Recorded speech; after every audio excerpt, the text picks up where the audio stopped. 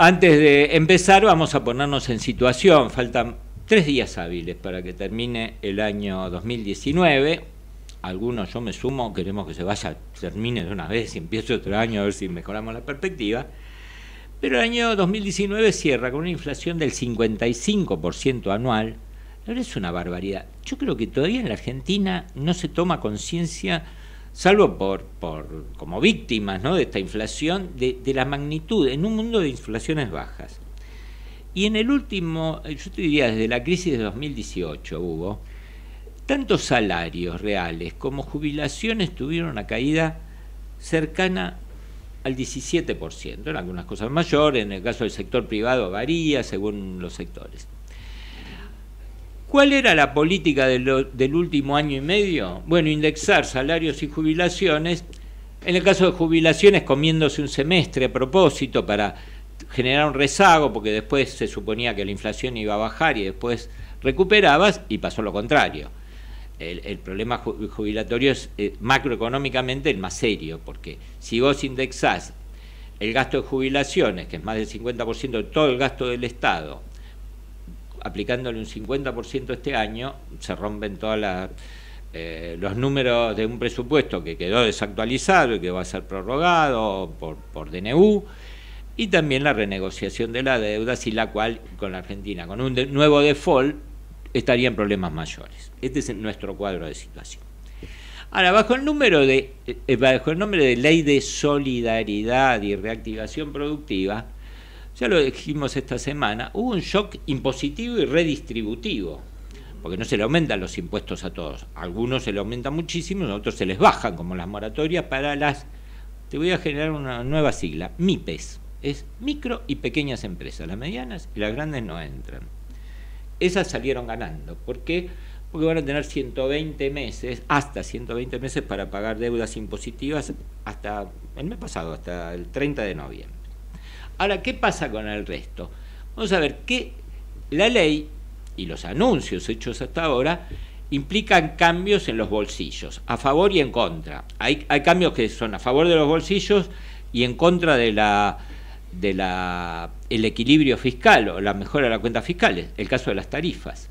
Las tarifas van a tener un año de atraso prácticamente y eso va a significar más gasto en subsidio, pero bueno, al que paga luz, electricidad, le va a significar un alivio para el bolsillo. Uno de los pocos. ¿Por qué? Porque salvo las jubilaciones mínimas y las que eh, con el aumento de 5 mil pesos que va a ser anunciado en estos días, más otro en enero, llegan hasta 19 mil pesos, el resto van a ser desindexadas a un índice que ni sabemos si va a haber un índice, es discrecional de la lapicera del presidente de la Nación tanto en marzo como en junio. O sea, no es que se congelan las jubilaciones superiores a 19 mil pesos, pero tampoco sabemos cuánto se aumentan. Ahora, por el solo hecho de suspender la indexación, que en el primer trimestre ya hubiera dado como un 18%, se sospecha que va a ser por abajo de la inflación y no por encima, ni mucho menos igual. Algo similar pasa con los salarios, excepto los más bajos.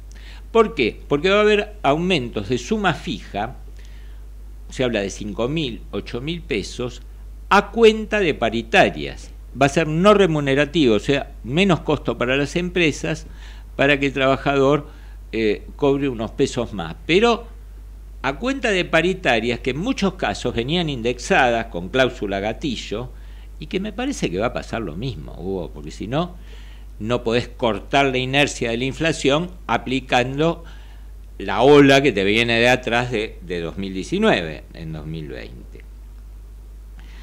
Hay otro, para aquellos que son contribuyentes del impuesto, el llamado impuesto a la riqueza, bienes personales, eh, salvo para vivienda familiar, que el mínimo llega al equivalente de 300 mil dólares, el resto es para patrimonios o activos de hasta 50 mil dólares, para ponerlo en un número manejable, porque 3 millones de pesos parece mucho hasta que lo dividís por 60 y se te transforma en esos 48 mil. Este, ¿Qué ocurre? Se fijaron nuevos mínimos, nuevas escalas con alícuotas más altas, prácticamente se eh, llegan a duplicarse esto es a todos los que tienen eh, bienes registrables, digamos, eh, casas, departamentos, autos, quintas, no sé qué, y eh, también para activos financieros declarados, que, digamos, como está hoy el mundo, están en buena medida declarados. Ahora, este mínimo no se ajusta, no, está previsto que se vaya ajustando de acuerdo con la inflación o, bueno, del dólar yo lo pongo como ejemplo, no está valuado en dólares, pero sí, como las casas están valuadas en dólares y muchos activos son en dólares, vos podés tener la misma cantidad de dólares o una casa que no se valorizó para nada en dólares o bajó de precio y vas a pagar más porque se calcula en pesos. ¿Cuál es la única ventaja? Que la primera cuota, el primer anticipo de bienes personales lo vas a pagar en agosto aunque el ejercicio se cierra ahora. Este, y finalmente puede haber, puede haber, porque está en la ley, pero no dice cómo, aquellos deudores de créditos ajustables por UVA, tanto para la compra de propiedades como de autos, que son los menos, se habla de una solución de sacrificio compartido entre deudor y acreedor, serían los bancos, este, que se supone que va a bajar un poco el peso de la cuota. Hasta ahí todo esto se desindexa. Eh, y salvo para los sectores del piso de la pirámide social, es negativo para el bolsillo. ¿Qué se indexa? ¿A qué se le va a aplicar la, inflación? Bueno, hablamos esta misma mañana. Impuestos al, patrimonio inmobiliario. El ABL no es un impuesto inmobiliario, pero de hecho cumple esa función en la capital federal. Se ajusta por la inflación pasada y a partir de agosto, que justo de, este año, fue aumentando la inflación, hubo tasas de 4, 4,5, 5%. Esto va a caer al principio de 2019. Si se aprueba en la legislatura provincial el paquete impositivo, lo mismo va a pasar con el impuesto inmobiliario urbano, edificado y rural en la provincia de Buenos Aires, con algunos pisos que superan incluso la inflación del año pasado, en 20 puntos. Los precios de los combustibles son una incógnita, porque se indexan, va, no se indexan, se fijan de acuerdo con el, eh, el precio internacional del petróleo, que está estable, el Brent, aunque hay una propuesta de cambiarlo por el WTI, que es más bajo, y, pero que todavía no llegó al Congreso, y, por el, y también por el dólar. ¿Qué se supone, Hugo, si este año vamos a tener una inflación, ponerle del 40, el dólar oficial puede atrasarse un poco, pero no tanto? Y de esto, a su vez, va a depender el dólar solidario, o mal llamado dólar turismo, porque no es solo para turismo, sino para cualquier pago al exterior, y que va a tener un recargo de 30%. A medida que la base de ese dólar vaya subiendo, el impuesto solidario, entre comillas, va a ser eh, mayor. Y algo parecido, salvo que haya una ley de hidrocarburos que lo modifique, pasa con el impuesto a los combustibles líquidos, que por ley se indexa eh, de acuerdo al índice de precio al consumidor cada tres meses. Por eso no se sabe si antes de fin de año no va a haber un nuevo aumento de combustible. Ya veremos. Yo la verdad que no tengo información. Y a esto agregale, no tiene que ver con la indexación ni la desindexación, un montón de impuestos que han aparecido o reaparecido en el universo o algunos que iban a bajar como ingresos brutos que no van a bajar sino subir y eso es un cachito, una mordida en el bolsillo porque se aplica directamente a los precios sin ningún tipo de compensación como podría tener el IVA. Esta solidaridad que está envuelta en la ley de emergencia y que es, es como la tarjetita de regalo, la verdad que tiene poco que ver con la solidaridad bien entendida, que es ayudar voluntariamente al que lo necesite.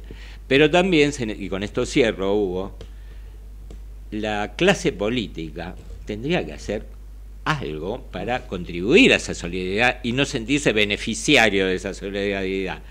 Bob no solo se mantuvo y creo que se agregó un ministerio más, sino todo el Estado Olvidémonos del gasto previsional, los planes sociales, que es casi un 60% del total. El resto, ¿cuál es la excusa? Y no mueve el amperímetro, que suspendamos este, eh, los choferes, que no compremos autos. Vos fíjate las patentes de los autos oficiales, la que no es AC es AD. Son todos autos nuevos. Si estamos en crisis, si estamos en emergencia, hay que ahorrar en todo lo que se pueda. Y vale para todas las jurisdicciones, no solo para el gobierno nacional. vale para el gobierno de, los gobiernos de las provincias, para las cajas de jubilaciones de las provincias, que el déficit hasta ahora lo cubrió el ANSES, estaba en el pacto fiscal que se les cubre una parte y ahora que se va a haber que reformularlo hay que ver qué pasa con eso. Y, este, y también señales austeridad en cosas mínimas. Hoy escuché que se evalúa ver si se renueva la flota presidencial de aviones, porque parece que le falla al Tango 01 el aire acondicionado, o se alquilan. La verdad que si el país quiere dar una imagen hacia el exterior, es decir, nos zarpamos, el Estado argentino gasta 30 mil millones de dólares más por año y hasta ahora, estos últimos años, lo cubrimos endeudándonos y los años anteriores emitiendo moneda a lo pagote, con lo cual tenemos la inflación que tenemos. Bueno, mostremos que el esfuerzo repartido y no solo en, un, en una sola dirección.